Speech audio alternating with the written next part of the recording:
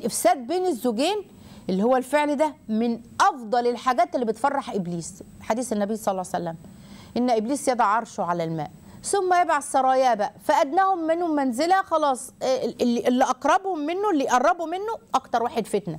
واحد يقول له ده أنا فعلت كذا خليته يسرق خليته يقتل. ماشي صنعت صنعت. يقول له ما عملتش حاجة. يتوب. لكن يجي له واحد يقول له والله ما تركته. اللي هو العبد ما. الشيطان يقول له ما تركته حتى فرقت بيني وبين امرأته فيدنيه منه يقربه منه يقول له نعم أنت أنت تعال تعال ليه؟ لأن خراب البيت وخراب الأسرة خراب المجتمع تضييع الأولاد خلاص باظت ما بقاش في منظومة حياة خلوا بالكم كمان في ساعات كتيرة بيظهر المخبب ده بصورة الناصح متعاطف بقى أنا بنصحك وأنا مش عارفة مش شرط يقول مباشر على فكرة لأ مش بيصرح بالكلام ده.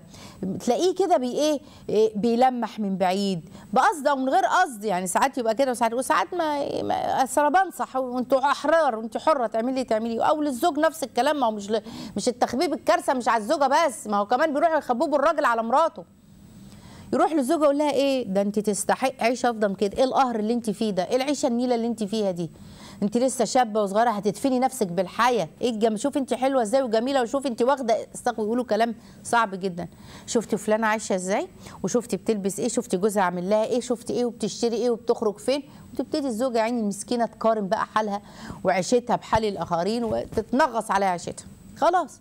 تبدأ بقى تطلب من زوجها فوق طاقته ولا غير طاقته أو تقارن أو تمقته بالكلام أو كده. فتبدأ الخلافات ويبدأ المشاكل. وهنا التحريض والتخبيب شوفوا كم مثلا يعني أم غير واعية بجد أو أخت أو أقارب بسبب كلامهم أفسدوا حياة البنت دي وحياة الزوجة دي مع زوجها. وشوف كم جارة مش كويسة خببت على جارتها بسبب كده وكانت سبب في طلاق جارتها.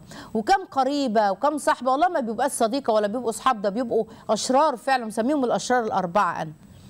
بسبب النصائح اللي بتقولها لها في التخبيب فتبقى سبب لهدم بيت الزوجة.